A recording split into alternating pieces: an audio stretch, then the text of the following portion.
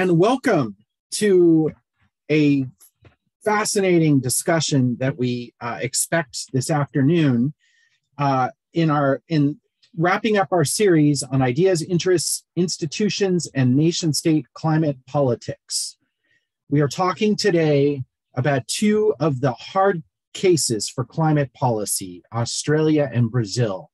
Uh, and we are extremely fortunate to straddle time zones to the point that we have uh, Peter Christoff, who is associate professor uh, at the School of Geography at the University of Melbourne, who uh, woke up to be with us at this early hour, 5:30 a.m.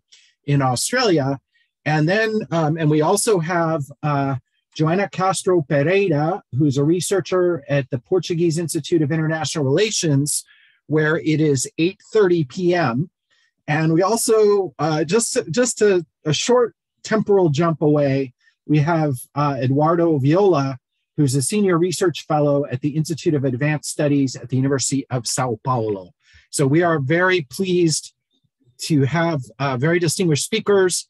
Um, I think I'm going to turn the um, the uh, space over to uh, Joana and Eduardo, who are going to present uh, on the Brazilian case, and then we will ask uh, Peter Christoff to present for us about Australia. And then we will hopefully have some time for comments and questions and answers. We ask people who are interested in participating uh, in these questions and answers to please uh, submit questions in the Q&A area. Uh, the webinars will be recorded, and in fact, they will be available on YouTube within a few days uh, at the Center for Environmental Policy at the School of Public Affairs of American University, which is sponsoring this event. So thank you so much for joining us. And please, uh, Joana and Eduardo, uh, the floor is yours. Thank you. Thank you. Uh, hello, everyone. Thank you, Todd, for the kind invitation to be part of this project and to participate in this webinar. It is a pleasure for me and Eduardo to be here today with you. We have a PowerPoint presentation. I'm going to share my screen. Okay, here it is. I hope you can see it. So um, in our chapter, we look at the politics of climate change, neglect, and denial in Brazil, arguing that the country has been neither a mitigator nor an adapter. We start by providing an overview of Brazil's contribution and vulnerability to climate change. Brazil accounts for over 3% of global emissions, the forest and land use sector currently represent almost half of Brazilian gross emissions, and Amazonian deforestation accounts for approximately 80% of the sector's total emissions. The evolution of the land use, land use change, and forestry sector, particularly in the Amazon, is key to the understanding of the political economy of climate change in the country. Since the early 1990s, the sector has accounted for approximately 75% to 25% of Brazilian total emissions.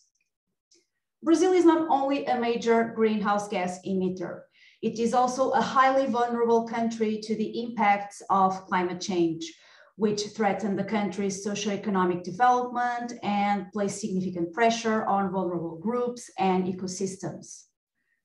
It should be noted that a strong deforestation control policy launched in the second half of the 2000s, including command and control strategies, private agreements, agriculture intensification, among others, uh, had transformed Brazil into a climate change mitigator. However, the trajectory of Brazilian emissions has been reversed since 2013. And in our chapter, we identify the factors that have precluded the country from consolidating the climate friendly position it had started to build during the previous years. And we also look at Brazil's climate change adaptation plan, which was adopted in 2016. And we shed light on the reasons why it has been only marginally implemented. From 2011, environmental progress was halted and partially rolled back, and climate governance weakened in Brazil. The 2011 to 2018 period in Brazil was one of climate neglect. President Dilma Rousseff prioritized short-term economic growth considerations and the Ministry of Environment resigned itself to the vision and orientation followed by the new administration. In 2011, the ministry even supported a reform to the Brazilian Forest Code that largely reduced environmental protections and which was promoted by the powerful agribusiness lobby in Congress. Additionally, public and political attention to environmental issues declined dramatically given domestic turmoil, which also reinforced the power of the agribusiness lobby. At the same time, um, the worsening of Brazil's fiscal situation led to significant reductions in financial support for critical environmental supervisory agencies working in the Amazon. Since 2016, the political power of the agribusiness lobby consolidated. The process of impeachment of Rousseff was an opportunity for the lobby to further advance its anti-environmentalist agenda in fact, half of the votes against Rousseff came from the Agribusiness Caucus in Congress. Rousseff's su successor, Michel Temer, depended on the Agribusiness Caucus to pass his legislative agenda and avoid trial and impeachment, and took, in exchange for political support, major measures against the Amazon. These actions, alongside further, further cuts in environmental spending as part of the Temer administration's drastic fiscal deficit control policy, continue to boost deforestation. Despite re regression in climate change mitigation policy, this period saw the emergence of the adaptation policy agenda in Brazil. And this was mainly the result of more frequent and severe floods and droughts during Rousseff's presidency, alongside um, the rise of the adaptation agenda in global climate policy. From 2013 to 2016, an intersectoral working group designed the Brazilian National Adaptation Plan. But um, having been designed during a period of climate policy reversal, the plan followed a non-binding and mainly informative approach. Sector-based priorities prevailed, which affected the plan's overall coherence and ambition. The weakened Ministry of Environment was able to exert only minimal influence upon other sector-based agendas and their tools. The plan was designed by several institutional actors with different understandings of the country's vulnerabilities adaptation needs, uh, development priorities, and who frame the issue in ways that advance their interpretation of the preferred policy instruments and practices, which were in most cases integrated into existing policies. The sectoral adaptation strategies were conceived according to um, distinct or even divergent concept, concepts of uh, adaptation. The plan contains only general guidelines for action and financial constraints, which were aggravated by governmental prioritization of mitigation over adaptation, hindered implementation. The plan's main accomplishment during this period was essentially, um, consisted essentially of diagnosing the problem. Uh, 2019 marked the beginning of a new phase a phase characterized by climate change skepticism and a clear rejection of environmental sustainability imperatives by the administration of Jair Bolsonaro, which aligned with the US Donald Trump administration. The Bolsonaro administration uh, launched an aggressive assault against environmental policy and institutions, which severely affected the Amazon. The deep and openly anti-environmentalist, climate skeptical orientation of Bolsonaro's government mirror the formation of its strategic core, with a group of radical market-friendly ministries displaying an anti-conservationist vision of development, a minister of environment very close to the agribusiness lobby, a minister of foreign affairs who publicly denied the anthropogenic character of climate change and believed in conspiracy theories, and a group of military-led ministries willing to deepen the state's control over the Amazon through the development of extractivist projects and the construction of new infrastructure in the region.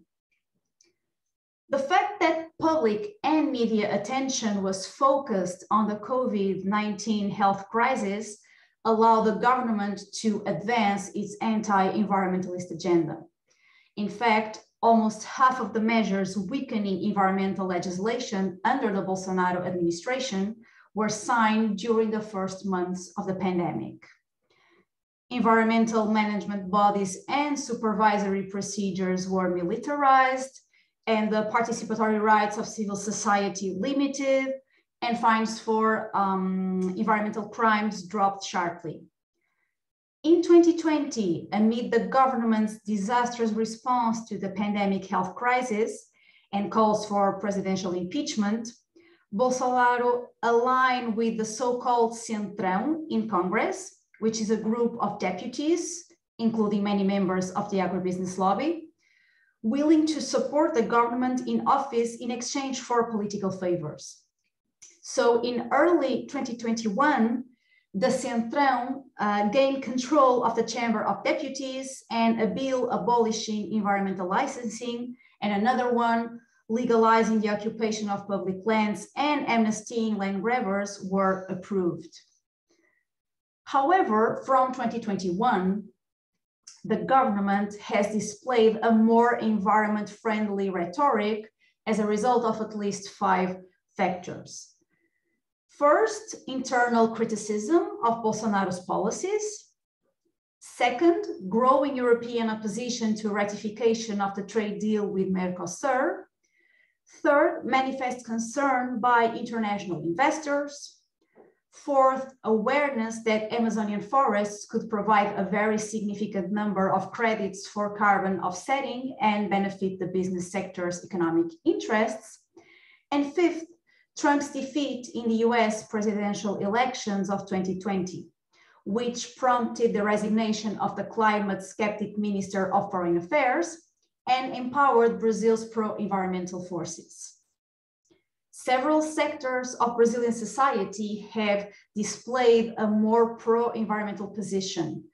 For example, the Brazilian Coalition on Climate, Forests and Agriculture, which is formed by organizations in the agribusiness sector, NGOs, academics, and companies, has grown and has become more active, strongly advocating for an Amazonian deforestation control policy. Regarding adaptation, against the background of climate skepticism and later climate opportunism and severe cuts in environmental and science spending, the adaptation policy agenda was unsurprisingly practically stagnant. Intersectoral work and concrete action were marginal, with um, activities initiated over the previous years being in many cases discontinued. After analyzing Brazilian climate change politics and policies of the past decade, and in light of Amazonian deforestation's major contribution to Brazilian emissions, the high vulnerability to climate change of the forest and its populations, and also the critical importance of the biome's biodiversity for planetary life on Earth, we then zoom into the Amazon to discuss climate change mitigation and adaptation strategies in and for the region. And in this section of the chapter, we draw attention to the fact that policies and climate related initiatives for the Amazon in Brazil have focused on mitigation. And we demonstrate how mitigating and adapting to climate change in the region depends on the adoption of sustainable development. We identify a number of policies, which you can see in this slide, uh, that could be implemented in the region to ensure both mitigation and adaptation to climate change.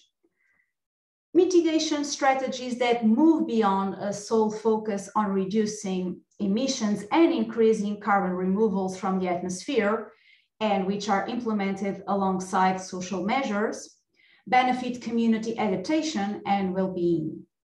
In the Amazon in particular, land grabbing and speculation and the concentration of land ownership alongside the historical marginalization of smallholder family farming generate an increasing demand for clearing forests. And curbing land grabbing requires not only strong monitoring and law enforcement actions, but also land tenure, security, and protection for indigenous peoples, and the designation of public forests to clarify tenure and limit the amount of land available for the expansion of agriculture and ranching. Indigenous peoples and their lands have been under attack in Brazil. Territorial encroachment from illegal actors has become more frequent and uh, dangerous.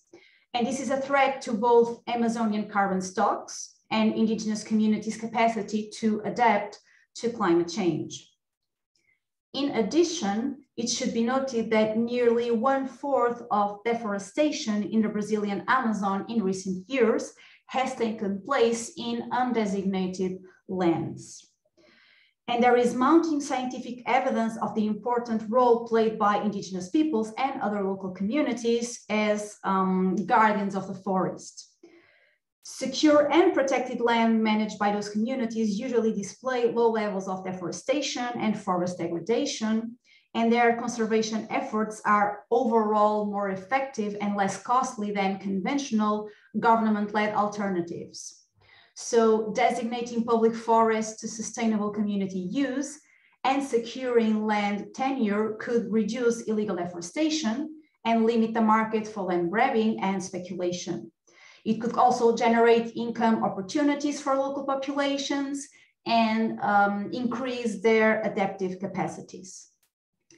Another important aspect is that while command and control strategies, private agreements, uh, or agriculture intensification played a key role in deforestation and emissions reduction in the 2000s in Brazil, forest loss by deforestation remained um, high among vulnerable populations.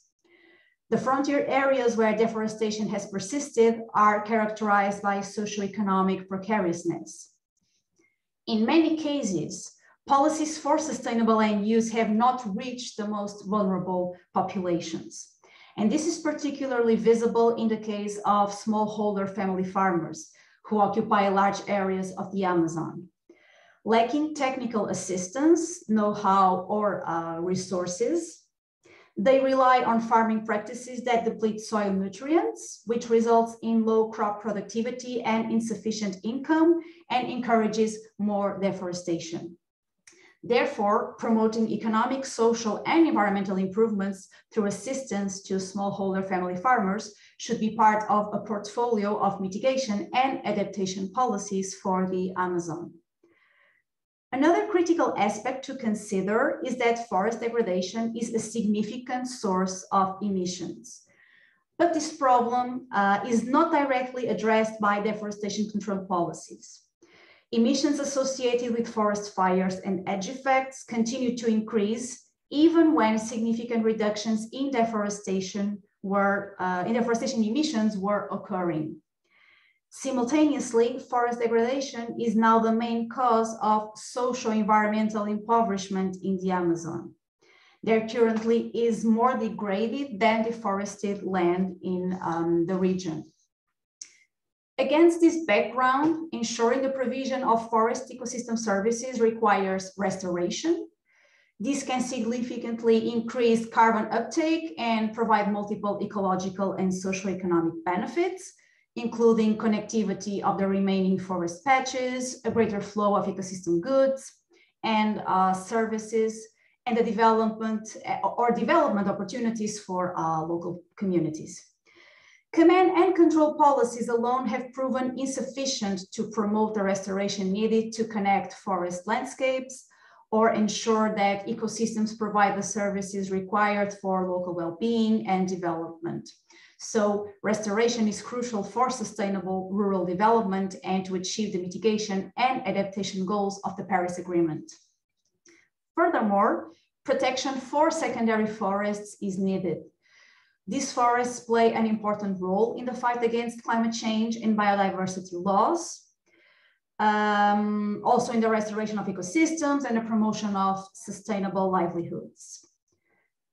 Protected areas in the Amazon arc of deforestation also warrant attention given their low resilience status. This should be targeted for interventions to improve ecological connectivity and projects to restore, maintain, or increase ecological connectivity in forests can simultaneously promote local socioeconomic development. Agroforestry is a good example of a practice that can be implemented to improve ecological connectivity and promote both mitigation and adaptation for forests and people.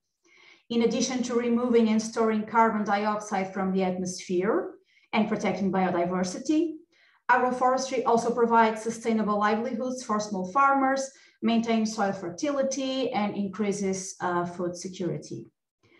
Lands that are managed sustainably can act as buffers that protect biodiversity hotspots and connect forest habitats, thereby increasing forest resilience and the production of goods.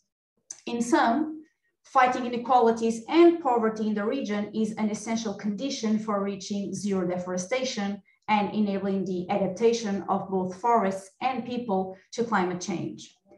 However, even if insufficient and reversed in recent years, policies and climate related initiatives for the Amazon in Brazil have focused on reducing emissions from deforestation and therefore on uh, mitigation.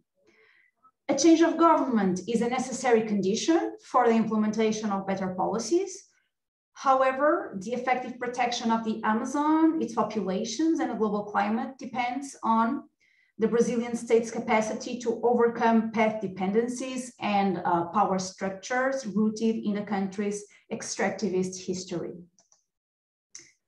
We conclude uh, the chapter by briefly looking at the future of climate change policy in Brazil in light of prospects for this year's general elections, about which Eduardo will now talk about.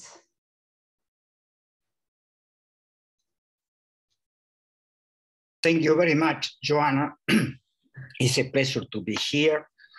Uh, so I will try to complement some of, uh, the issues that were uh, raised by uh, Joana. First one that is very important to consider is the complexity of the agribusiness Brazilian sector. Uh, generally outside Brazil, there is a general idea that the whole agribusiness is very conservative and pro anti-environment. That is that was never true in the last 10 years but particularly is not true right now. Uh, the, there is today we can divide in the brazilian agribusiness three major sectors. The agribusiness it is also the family agriculture. You uh, Joana you can take out the, the, the this uh, slide please. Uh, so the the um, um, the the uh, the first sector of the agribusiness that has been growing significantly in the last years is the sector that is uh, has internalized climate change and is advanced uh, cutting edge in terms of technology. So it's technologically advanced and environmentally advanced. This sector has been growing constantly in the last years and is close to become uh, very important.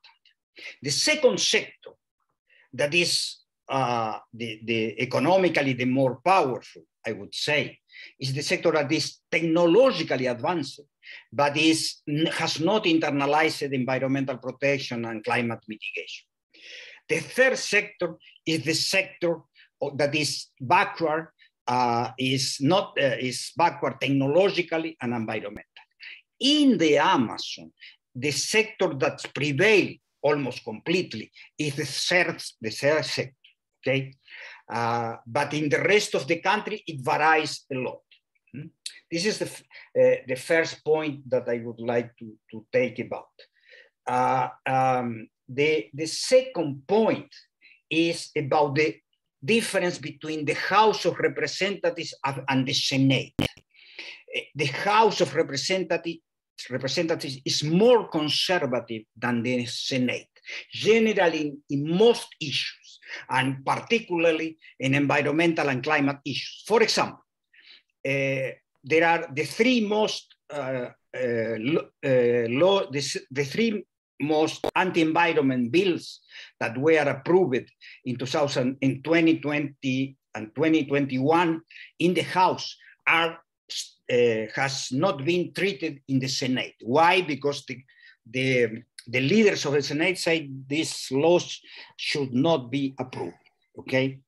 Uh, so, the second point I would like to say is, to, is very fast uh, comparison between Brazil, the US, and Australia, three continental countries, uh, two of them very highly, highly populated, Brazil and United States, the other one no, Australia.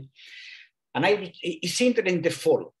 Uh, the, the, three are very hard uh, cases, but in a different way.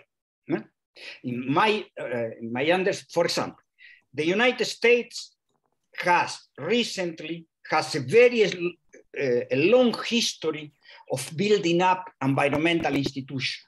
Okay, and when there is uh, uh, the whole attempt of reverse climate policies by the Trump administration, a lot of this reverse was uh, stopped somehow, not completely, but by the, the, the, the power of the institution.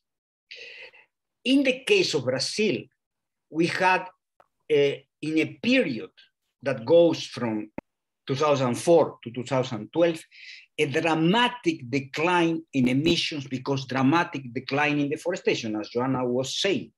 So this is something that is unique in the history of Latin America and in the, even in the history of the world, okay?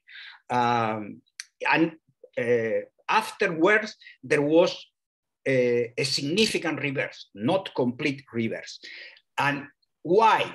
Because the uh, uh, compared with the United States, because environmental institutions are not as strong and uh, uh, internalized in the system of governance of Brazil, like compared with the United States.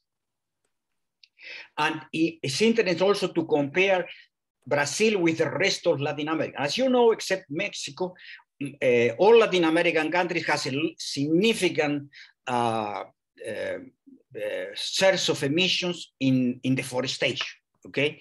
but um, there are the trajectories, most of the countries have not had any successful policy in controlling deforestation.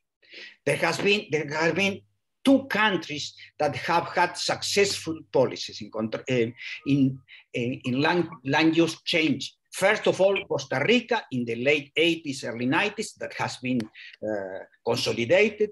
Eh? The second one is Chile, okay, that in the last decade, in, in the uh, in the 20th decade already, they have been very uh, consistent in managing soils. And for that reason, Brazil, uh, Chile is today uh, has sequestered more carbon from soil that emits. Okay, that is a major achievement from this point of view. Is similar to United States or even today China, for example. Okay, and uh, we have also Uruguay that has never been a significant deforested. To the contrary, has been a forester uh, or reforester country, but uh, it's very small country. Okay, and I think my Peter will talk about this, but uh, my feeling is that Australia is a case similar somehow to the rest of Latin America, different from Brazil, Costa Rica, Chile, and Uruguay, that uh, it has never had a significant climate policy, okay? Uh, but of course, in the case of Australia, the issue is not deforestation, it's energy, okay? But uh, the, this, this is interesting to, to consider. And so the, uh, they are very, very fast. The other thing that is important to consider, why was this dramatic decline in deforestation between 2004 and 2012 is because of several drivers. The, first, the, the several but important, but the, probably the most important is the presence of, uh, of uh, an environmental and Amazonian leadership in the Minister of the Environment, Marina Silva. The second very important is that the president, Lula da Silva, was sensitive to the pressure from Marina Silva and the environmental community for implementing the policy. Uh, the, the pressures of NGO, Brazilian and global NGOs was very important also, the, the, the, and the pressure of the European governments and European NGOs, generally speaking, including um, consumers and European supermarkets. All this created very, very interesting, positive situation, okay, in which uh, we have a really very amazing declining in deforestation, okay? Despite the, the, the forces in favor of deforestation were very powerful. Okay, okay. Uh, what about the future? We have basically today two possibilities. One is uh, uh, the re-election of Bolsonaro, that would imply the continuation of the, the policy that, that's, as was uh, uh, this, this described by, by Joana, that is anti-environment, anti-climate, either adaptation or mitigation, uh, and uh, maybe with some uh, moderation in, the, in a second term, okay? Uh, because of the, depending on the international dynamic. For example, um, moderation with Biden president, but if a Republican anti-environment Trump or other comes back to the president 2024, probably there will be a new radicalization anti-environment, okay? Uh, so, and the other is Lula da Silva, okay, that has been already president, and during his president, there was this major achievement in deforestation policies, okay, not generally in uh, um, decarbonization policies, because in the area of energy, there was not progress. To the contrary, there was a, in some increase in carbonization in the uh, electricity matrix and also in the in the energy matrix, generally speaking, because of the subsidies to, to gasoline and, uh, and this, okay? Uh, and so the, the, from this, the, likely the more probably uh, today, and like probably, uh, Lula will win the election. But almost certainly there will be a coup attempt by Bolsonaro.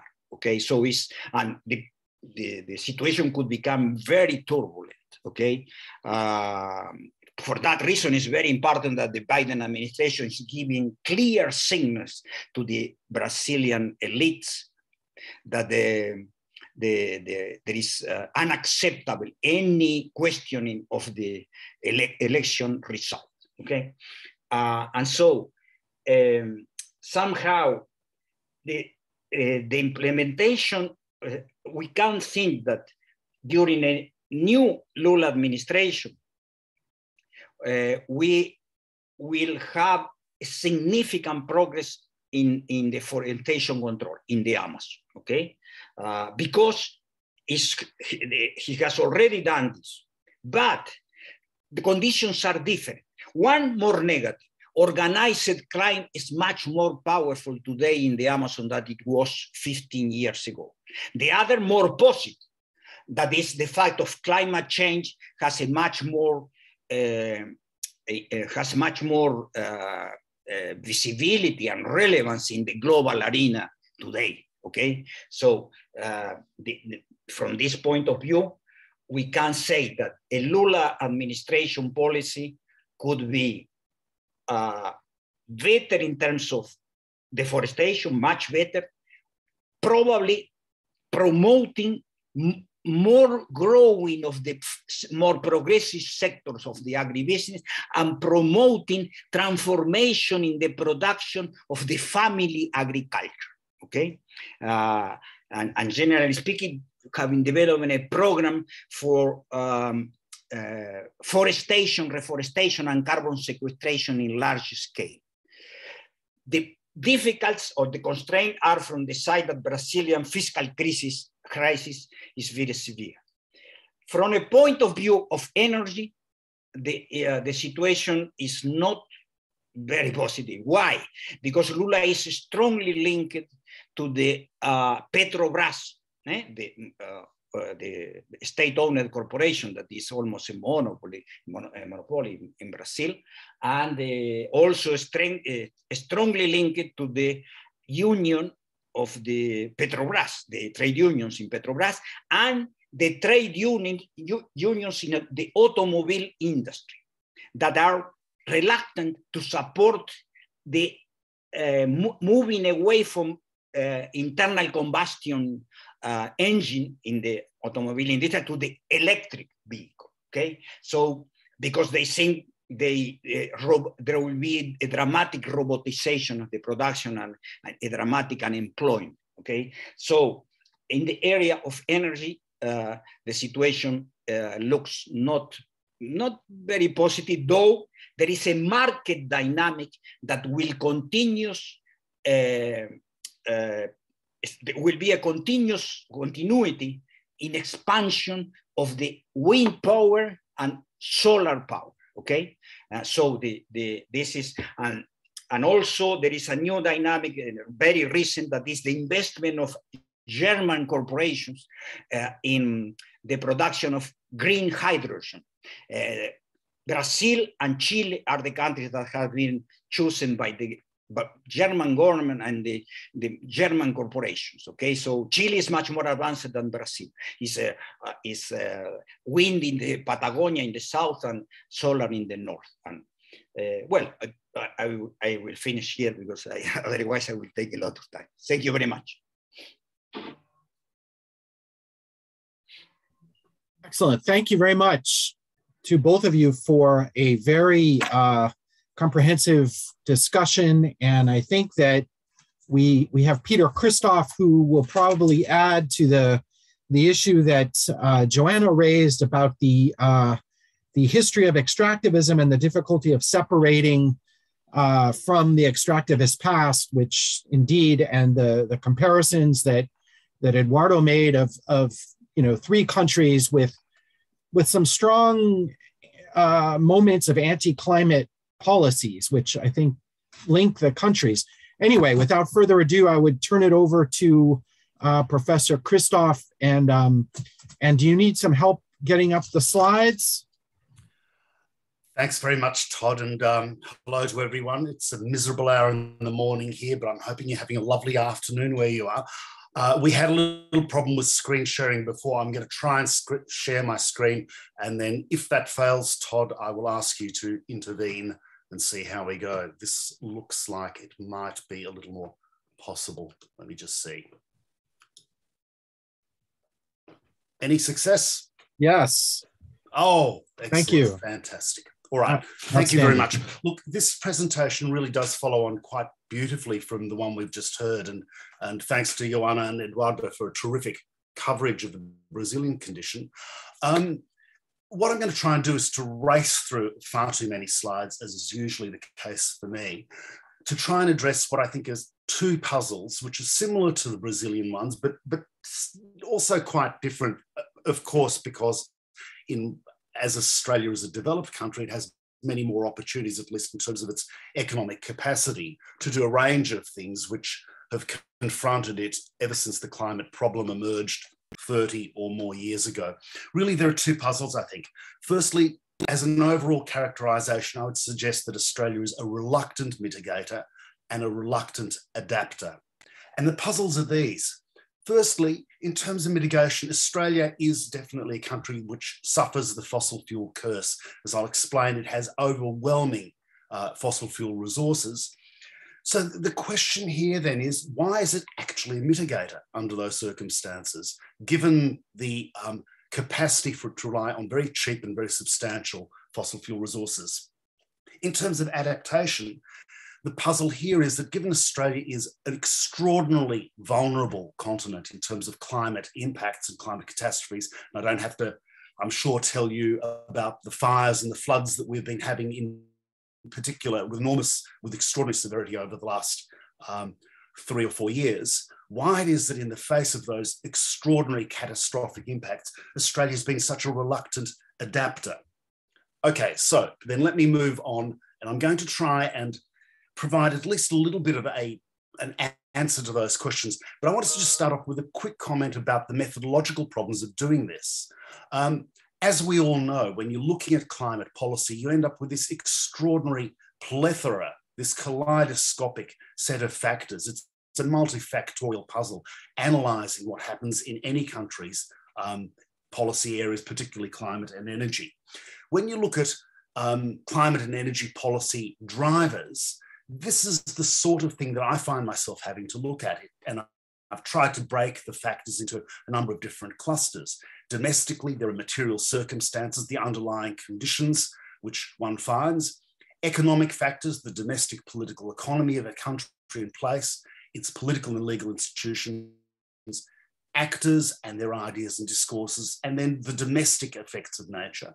Internationally, as we know, there are a range of international political and economic pressures, including normative ones which derive from international institutions, like the IPCC, like the Framework Convention on Climate Change.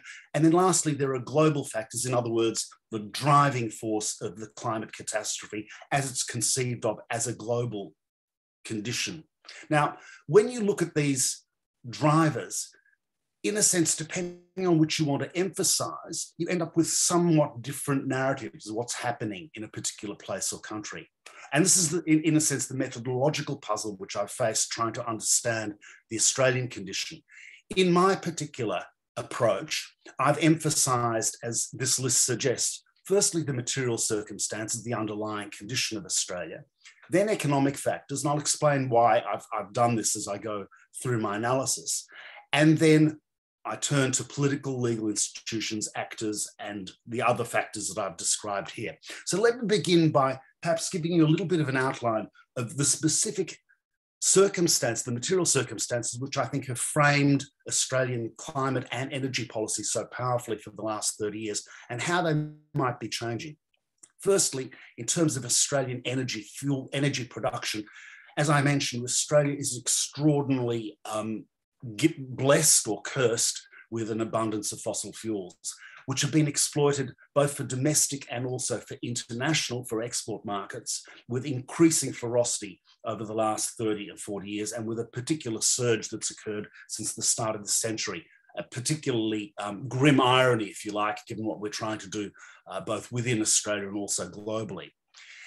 In terms of ex, in terms of energy production, the substantial um, volume of energy production, particularly coal, but also now gas, has been oriented in oriented to export markets. In other words, to about two thirds of Australia's energy production is now exported. One third, a relatively stable quota at, at this point in time, is domestic in its orientation.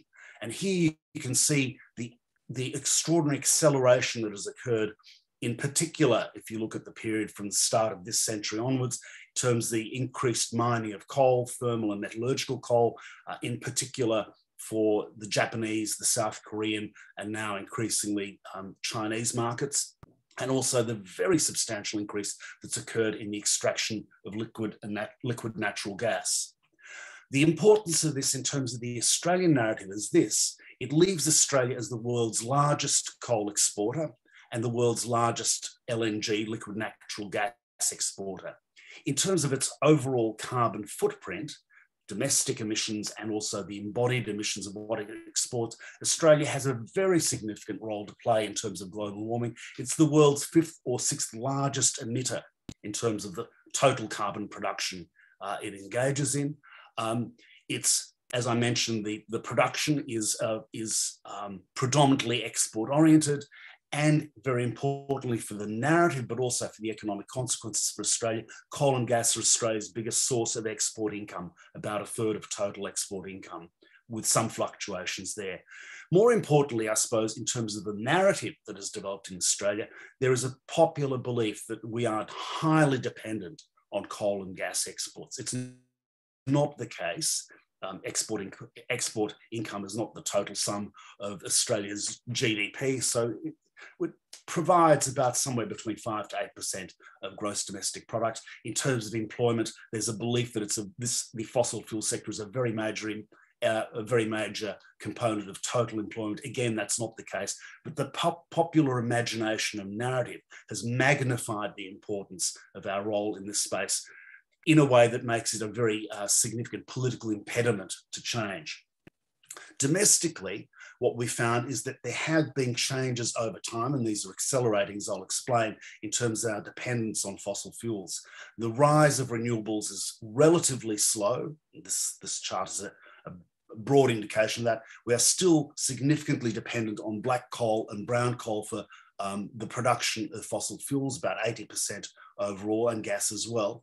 Um, but there is a shift that is beginning to occur domestically in particular, because in the domestic energy market, the relative costs of renewable energy as opposed to fossil fuel energy has now shifted. Renewables, and this is a, this is a I'm, I'm afraid I couldn't find a comparative diagram which is more recent than this. It's even more favorable now. Solar um, and offshore wind are now far more economically um, viable investment propositions and propositions in terms of the cost of energy that they produce than coal or gas. So in the Australian context, there will never be another coal-fired power, coal-fired power plant built domestically, and it's highly unlikely that gas plants will also be built. So the, the idea of a gas-based transition in the Australian economy is no longer one which most people, despite some politicians, take seriously, certainly not in terms of the private sector, which is um, the investment driver in the uh, domestic energy market.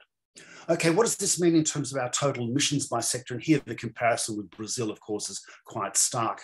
Our predominant um, source of emissions is electricity, uh, electricity production, then stationary electricity, uh, stationary energy, ele excluding electricity, transport. So about 55, 60% of total emissions comes from the energy sector plus transport agriculture is important, and then we have um, drawdown effects in terms of reforestation of a landscape, which was very significantly cleared during colonisation and the 20th century, which have counterbalanced some of these emissions effects over time. This is what the profile looks like over the period from 1990 through to the present. And as you can see, Australian emissions continued to rise until 2006, 2007.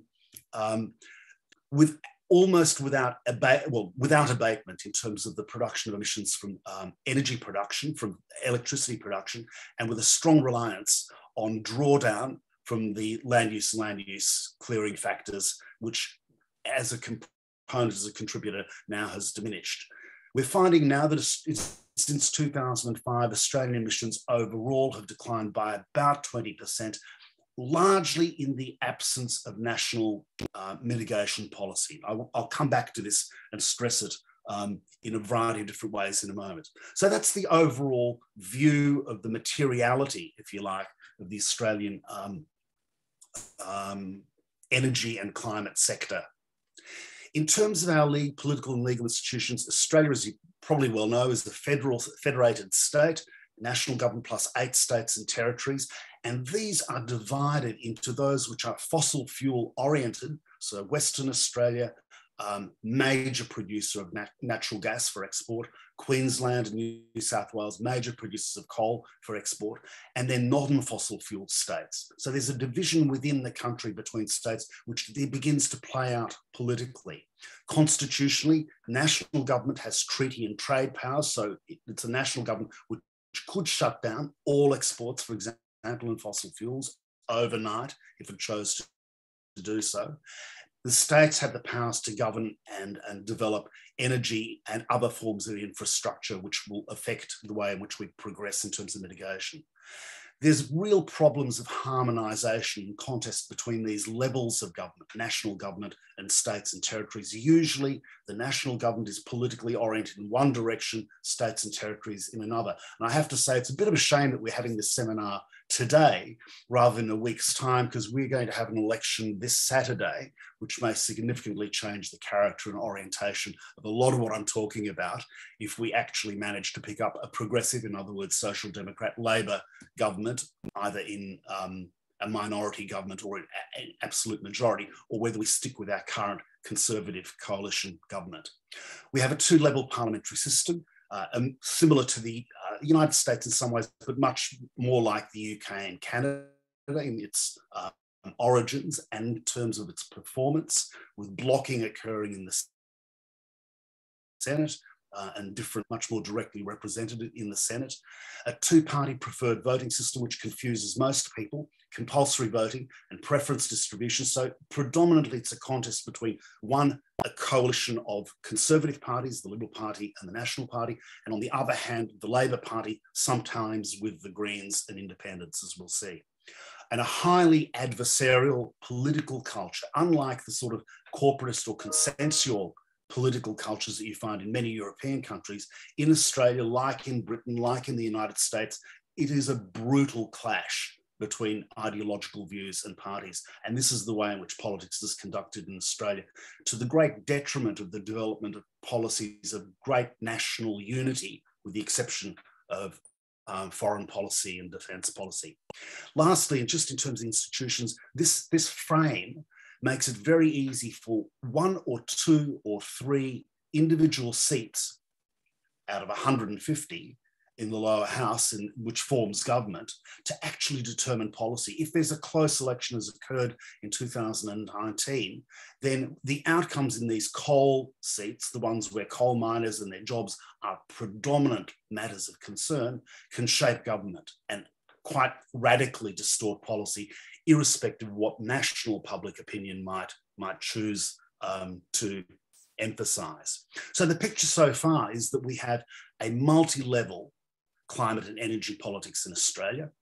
We have it divided horizontally between states and territories and also vertically between national government and, and subnational governments, according to fossil fuel and non-fossil fuel factors, domestic and export factors the transition that's occurring, and there is a transition that's occurring, is powerfully influenced by changing costs of renewables rather than policy at the national level.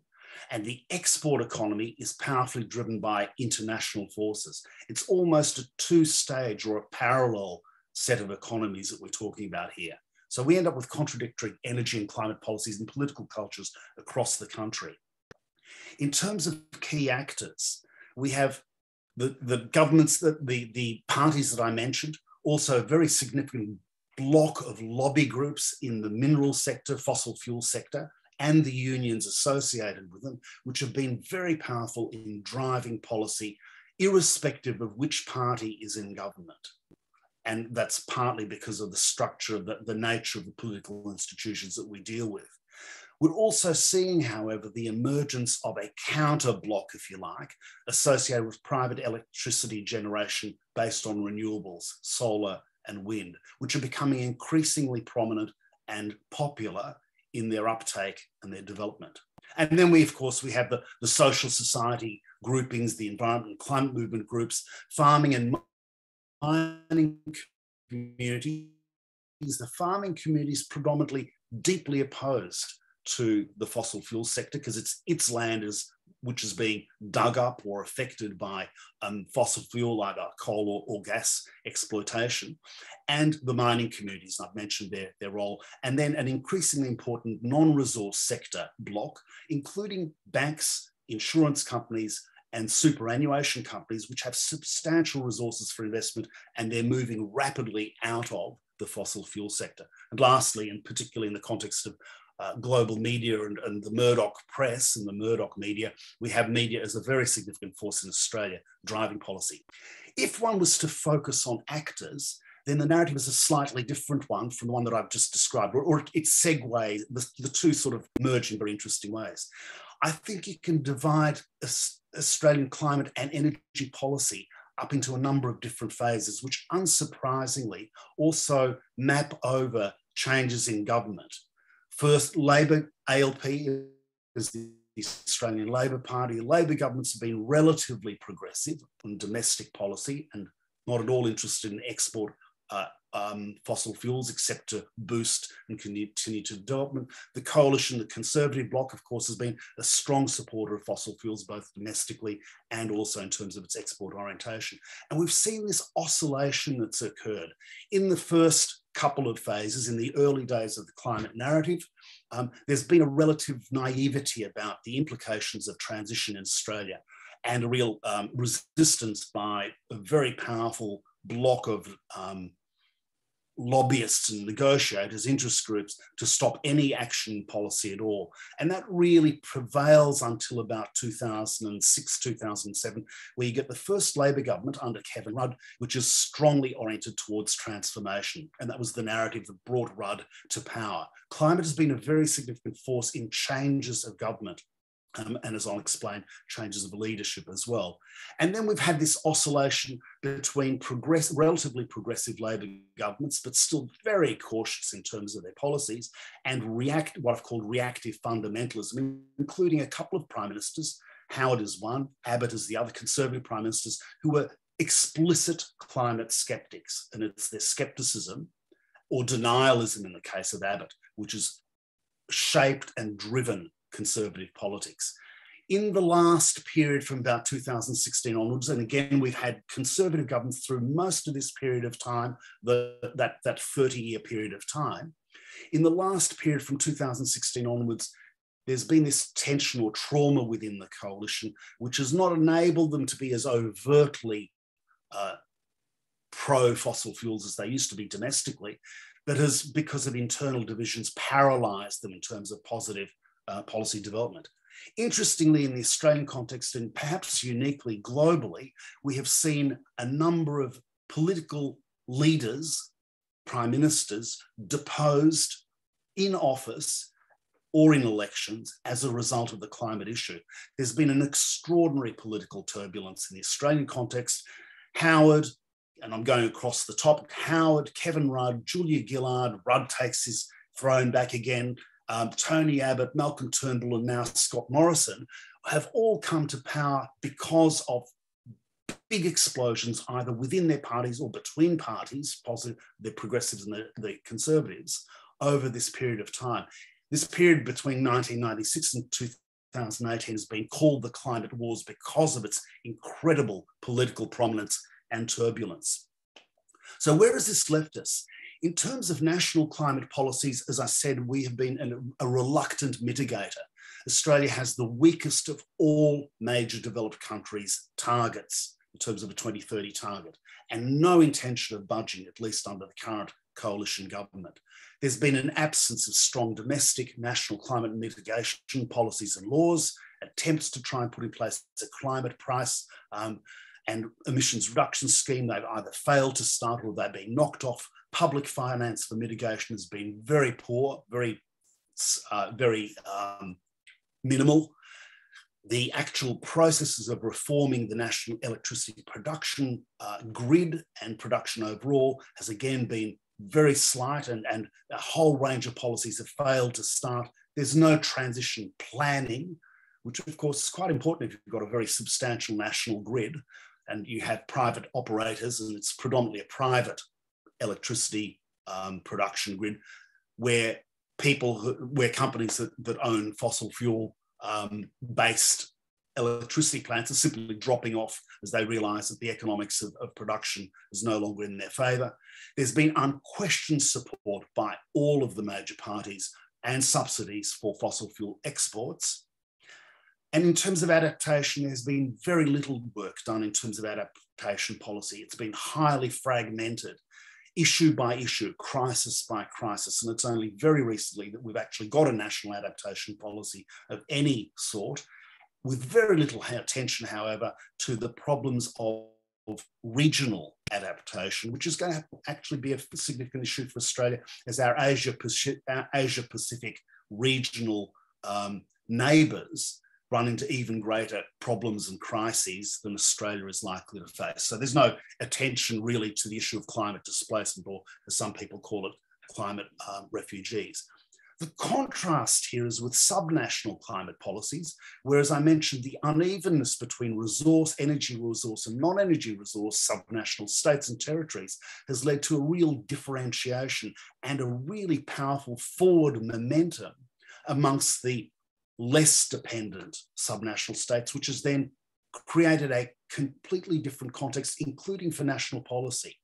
Uneven domestic policies, therefore, at this level. Some of the states had actually had emissions trading, substantial feed-in tariffs of the German sort, substantial subnational targets, and significant adaptation policies and disaster funding. So this differentiation between levels of government is very important. And I'll just skip over this target, just this, this slide. It shows that they're across the country now, all of the states and territories have got 2050 net zero emissions uh, outcomes or, or, or ambitions in some cases legislated, in some cases supported by very substantial transitional programs for mitigation. So all of the action is occurring at the subnational level, I would argue. Um, in terms of transition, the displacement of coal by competitive renewals is an economic force. It's been market force driven. Old, old fossil fuel plants are being retired ad hoc. Ad hoc. There's no new, invest, new investment in coal uh, or gas decline in coal-fired power generation capacity overall. Um, this has been unplanned, poorly coordinated, lack of sequencing. There's a real problem potentially of energy security and blackouts occurring in parts of the country because of how poorly this has been uh, allowed to occur lack of coordination. There's also the issue of what's going to happen in terms of the transport fleet. So policy really has not worked well. Even if we have a driving force at the subnational level, coordination nationally is really poor indeed. In terms of the now, let me quickly sort of move to a conclusion. In terms of international factors, as I mentioned, Australia is highly um, significant in terms of the global production of fossil fuels. Here again, though, Australia is going to face some very interesting problems.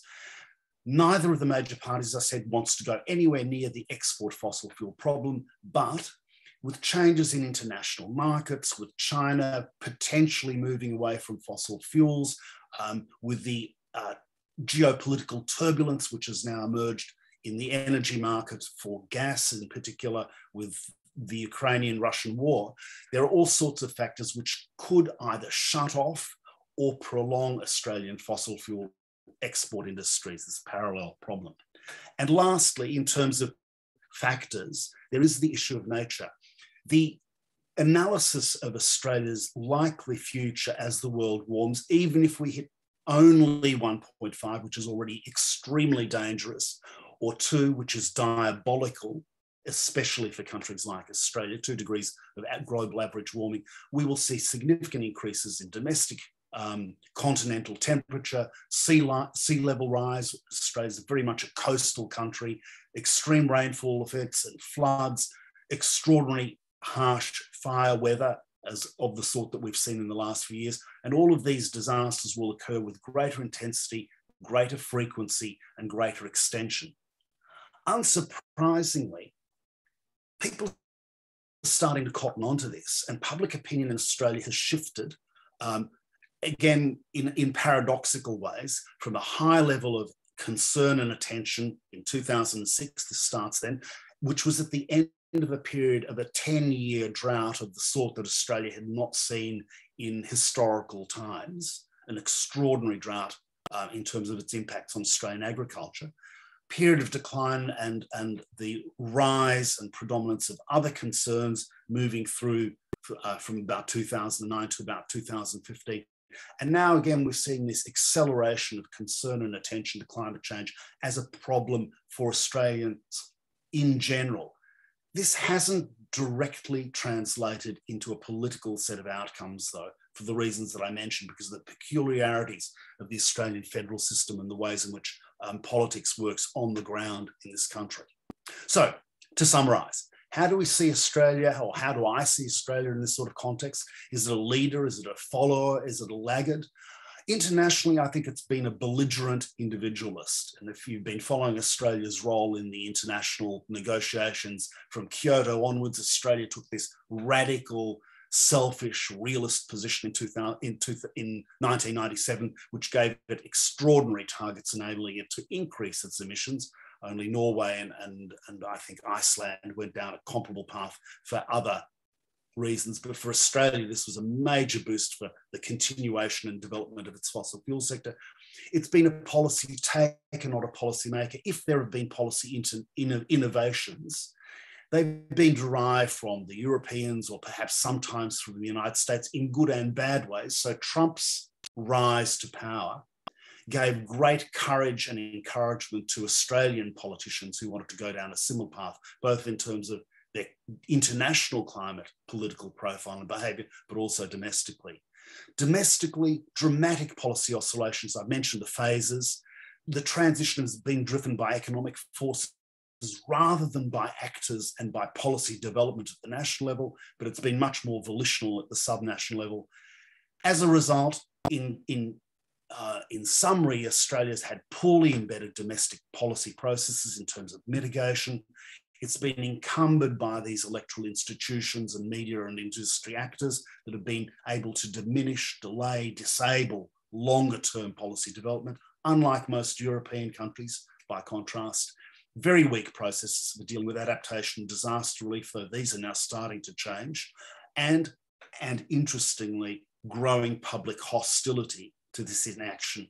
So if the question is which factors and drivers predominate in Australian policy, do they predominate uniformly over time and geographically? What governs the shifts between factors, and we're experiencing a shift now? I say that the factors which have predominated over the last 30 years have predominantly been economic and market forces, which have been not really under the control of uh, policymakers. They've gone along with the advantages that that has delivered. A very sort of realist approach.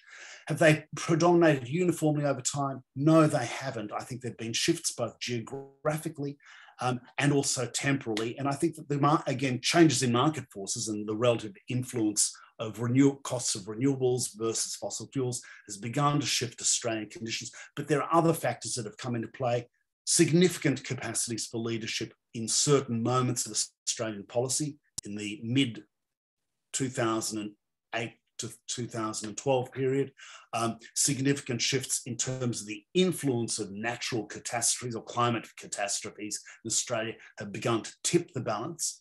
The, what governs the shift between factors, I won't actually go into that in any detail, but I think that both there are combinations of domestic and international forces that have come together to disrupt and, and, and overturn the predominance of purely economic and resource driven capacities. And are we experiencing a shift now? Well, we don't know. Ask me in a week's time. Um, however, despite the fact that um, this has been a very strange election campaign in the last two weeks, and this is the last week of it, and climate change has not been a prominent feature, unlike in the previous um, five or six elections, the underlying influence of climate policy on, the, on, on climate as a, as a concern on the outcome is going to be very substantial. In a number of marginal seats, these were the seats that got burnt out during the terrible Black Summer bushfires in the last um, three, years ago the shift in mood there, the anger at in government inaction is profound.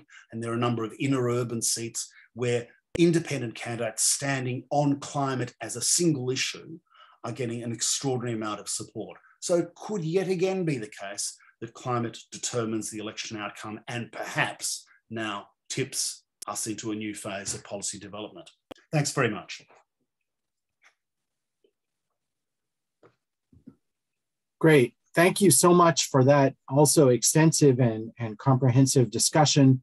Uh, I, I guess there's a, there's a few questions. Um, we don't have a huge amount of time, unfortunately. Um, I, I, guess I guess I would I would like to, to take a couple of, of questions ever so quickly. And then I think also ask you all about the fact that in both of these critical nations, uh, for, for climate mitigation uh, in terms of you know energy consumption and the uh, decarbonization and energy transition.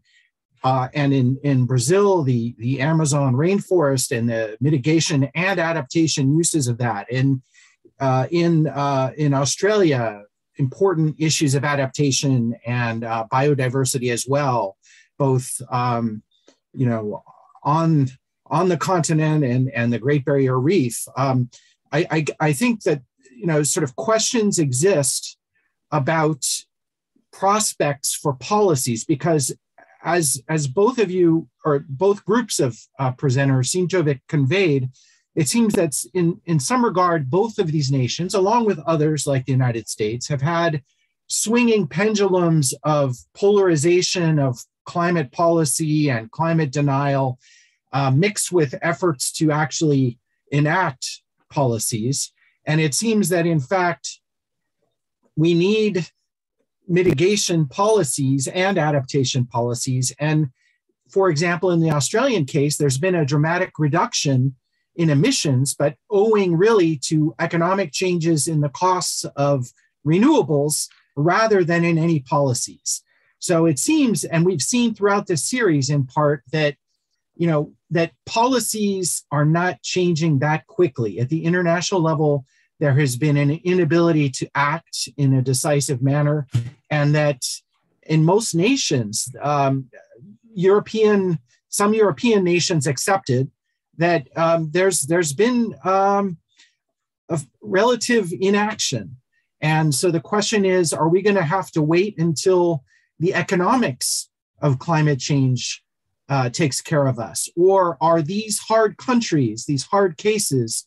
Um, they they would seemingly be good good cases to ask about what it would take to get uh, strong climate policies. I, I, think I think we'll finish on that and and you know see if if any any or all of you would like to respond. I mean the questions, the other questions here are are very specific ones about percentage loss of the world's oxygen um, in deforestation in the Amazon and another question about the role of non-state actors and subnational governments uh, in in the Brazilian case. I, I, think, I guess that was depicted strongly in the uh, Australian case. Um, we only have about five minutes, but I wonder if um, if if you all might take a stab at at some of the broader questions or some of these narrow ones. Uh, who would like to to give a shot? I can. Great, all of you. Maybe, maybe shall we go in the order of presentation? Is that okay? Yeah. of course. All right, thanks. Okay, so I would like to answer the question that's in the Q&A about um, the Amazon and oxygen. What is currently estimated to be catastrophic or have catastrophic consequences is deforestation reaching 25% of the Amazon and currently approximately 20% of the forest has already been deforested. Um, what, what can be catastrophic is deforestation reaches 25% of the forest combined with the effects of climate change and um, fires. This could cause the Amazon to cross a tipping point of switching from rainforest to savanna in large parts of the region. And if, and, um, if this would be the case, large amounts of carbon would be released into the atmosphere, further exacerbating global warming. Uh, moreover, the Amazon's hydrological engine, which plays a critical role in regulating the planet's climate, would likely be modified.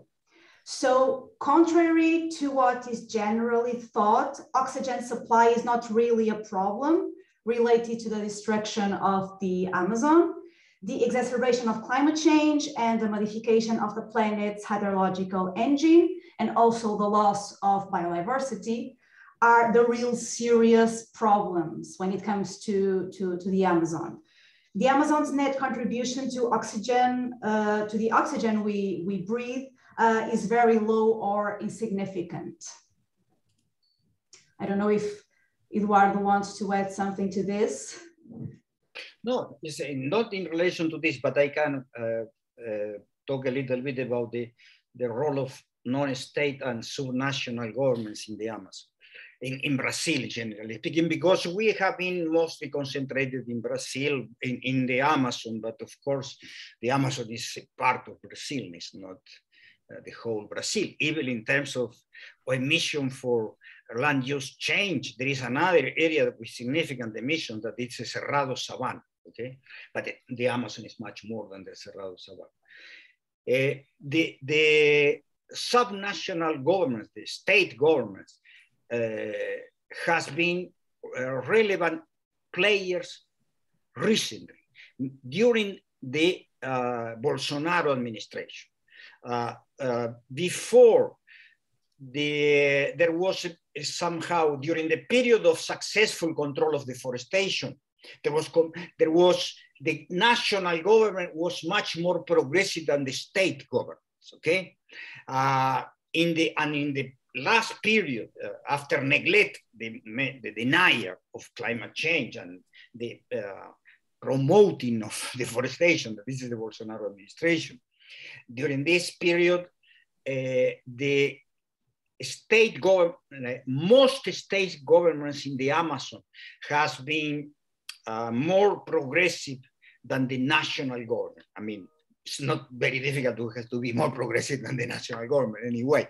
Though there are some state governments that are as bad as the, as the national government.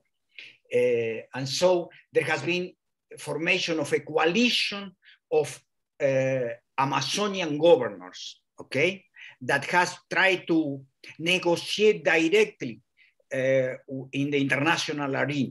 For example, since the, the suspension, I mean, uh, Norway and Germany suspended the donations to the Amazonian Fund, particularly no Norway was a major donor, okay? And once this happened, because of the policies of the Bolsonaro administration, the uh, governors of some Amazonian states, particularly the two more important, Para, uh, the three more important, Para, Amazonia, Amazonia and Mato Grosso, have been trying to, to, to have direct funding of the Amazonian Fund for the state governments. This is something that has been considered by the uh, European governments, but they are waiting for a change of administ national administration because the policy of European governments is not to bypass the national governments. Uh, uh, generally speaking. But we can expect that in the case of re-election of Bolsonaro, that is less likely, uh, there will be a kind of uh, direct support of the Germany and Norway and generally the European Union to the, the less conservative governments in the, Ama in the Amazonian state. There is no progressive government in the states, in the Amazonian state okay? There are less conservative. Uh, and as con some governors are as conservative as the federal, and some others are less conservative, but there, there are not progressive governors. Uh, um, okay, and the, the NGOs uh, has been very important during the period of uh, the successful policy for controlling deforestation but they, ha they have suffered from a retraction of public opinion uh, in relation to environmental and climate issues, and Amazonian issues, since the crisis or the economic, political, uh, and corruption crisis started in 2014, okay? And so the, we can say that Brazil is today something very important to consider, very different from Australia and United States. It's an, a society that is uh, the per capita income is declined, declining. So the last 10 years, now our per capita income is 13% uh, lower than in 2012.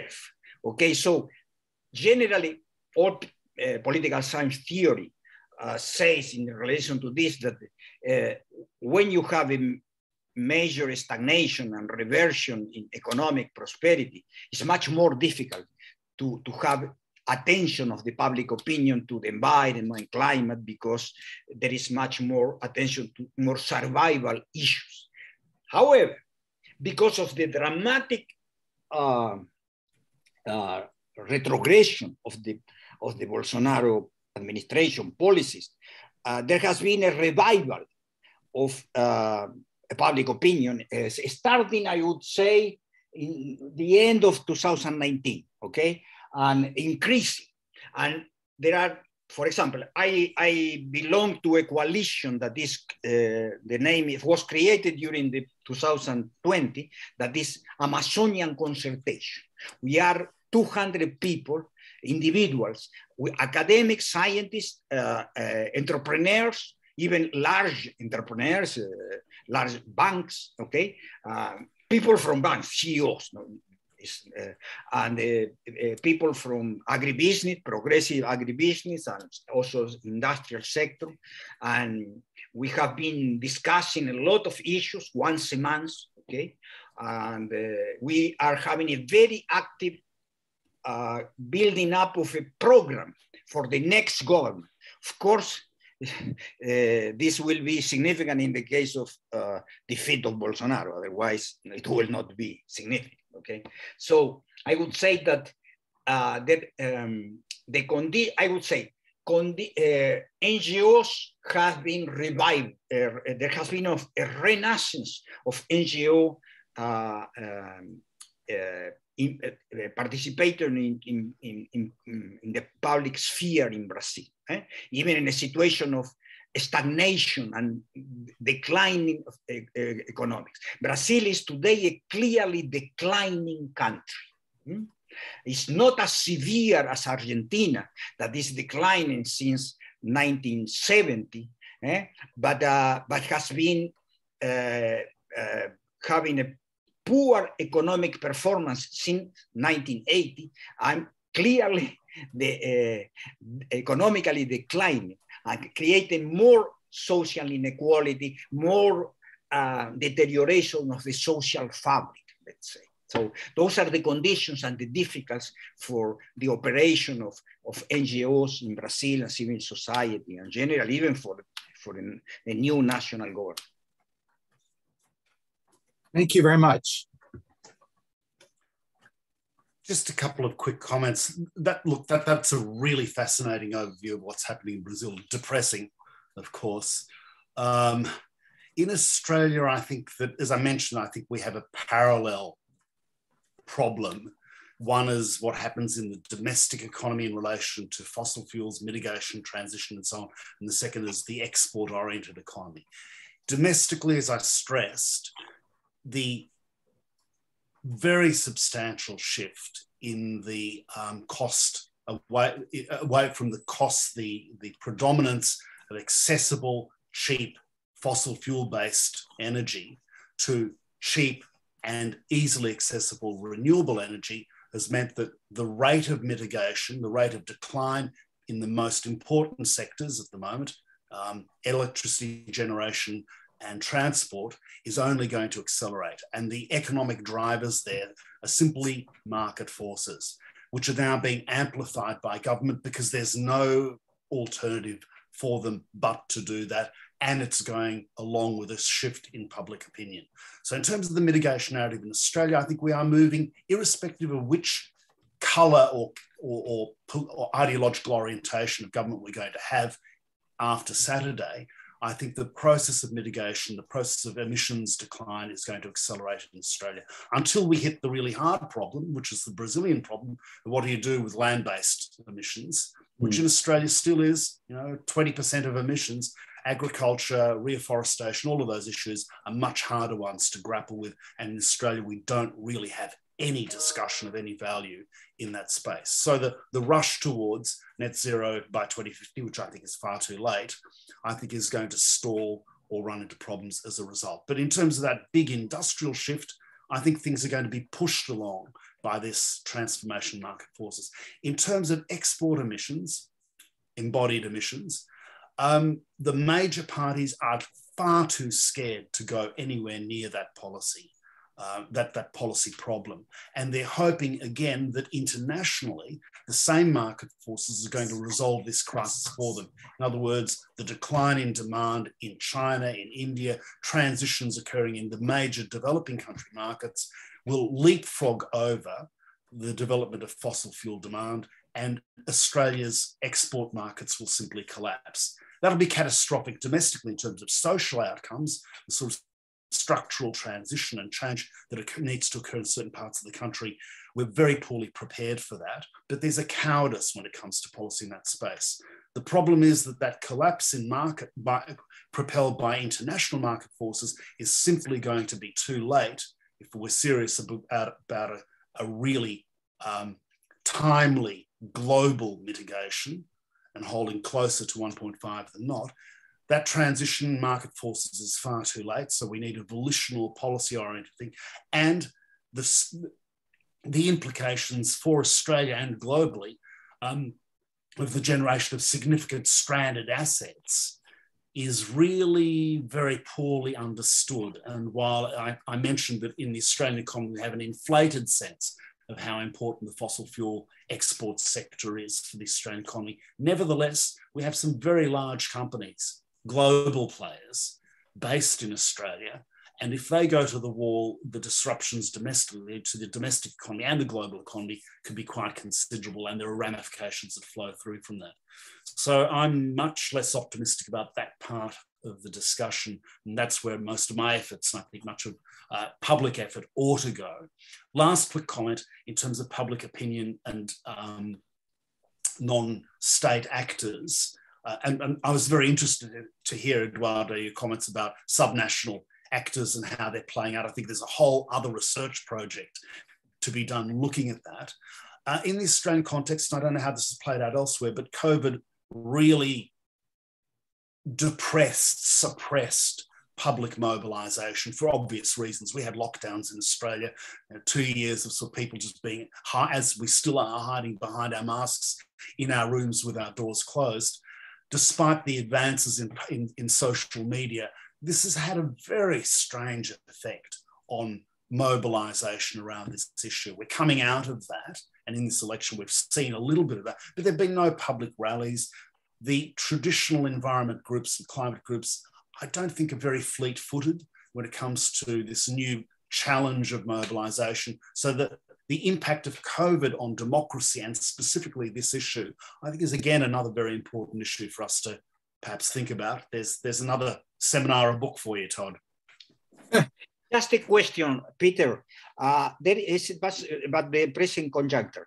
Uh, the uh, exportation of uh, fossil fuels from Australia to Europe has increased as a result of the of the war. Not yet so there, there are some people who are hoping that with the shutting down, as I, as I think it will occur and will persist, of gas from Russia to Europe, I think there's, I think the disruptions of the Ukrainian war are going to be long lived. And in fact, there are some benefits. Obviously, it will accelerate decarbonisation in Europe, which is a great outcome, though with some social and economic trauma. At the moment, some in Australia are hoping that liquid, that LNG, liquid natural gas from Australia, will be rerouted and sent off to Europe. But in fact, there are long-standing contracts and obligations for what we are currently and projected to supply. So we will simply not have the capacity to compensate for that European uh, problem, at least in the short term. And I think the general expectation in terms of global energy trade is that most of that compensation will come from the United States uh, and their gas supplies. So that's probably a good thing for Australia that we don't suddenly start finding ourselves shored up by yet another geopolitical crisis. But I don't, but the prices of energy have increased, and that in itself is encouraging gas producers and coal producers to think they've got more life, uh, a, long, a longer life than they otherwise might have. And that's, that's the implication that I was talking about in terms of geopolitical impacts. Great. Well, th- well, thank you all. Uh, just to to wrap up ever so quickly by by thanking you, uh, wishing uh, uh Europe a good a good night, wishing Australia a good morning, and those of us in between, we're going to continue our afternoon. And just to thank all of you again, um, this, the Center for Environmental Policy was pleased to run this webinar series. And many, most, I dare say all of us who have presented here are working on uh, a book manuscript that we hope to uh, have ready uh, in production within a few months. So stay tuned for that. And um, and thank you all very much. Again, thanks and um, thanks. Bud, appreciate thanks appreciate everybody's Bye. willingness to join us and for staying with us. Have a good day. Thanks. Bye all. Bye.